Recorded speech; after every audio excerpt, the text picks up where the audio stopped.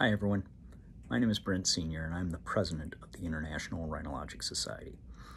And it gives me great joy to invite you to the 2022 Rhino World in St. Petersburg, Russia. This is a joint meeting between the International Rhinologic Society and the ISIAN. You know, with the COVID pandemic, we all know that we haven't been able to get together the way that we really like to. But with the pandemic hopefully showing some signs of easing, it's no better time for us to get together with our colleagues again to celebrate that discipline that we all love, rhinology.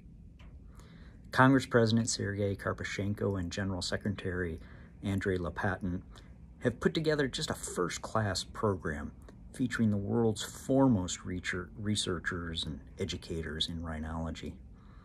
And really, what can beat the beautiful city of St. Petersburg, especially during the white nights of summer with nearly continuous daylight?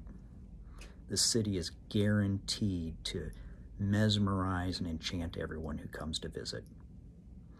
So please plan to come July 11 to 14, 2022, and bring your family. I guarantee it's going to be an event that you will never forget. Thanks, everyone.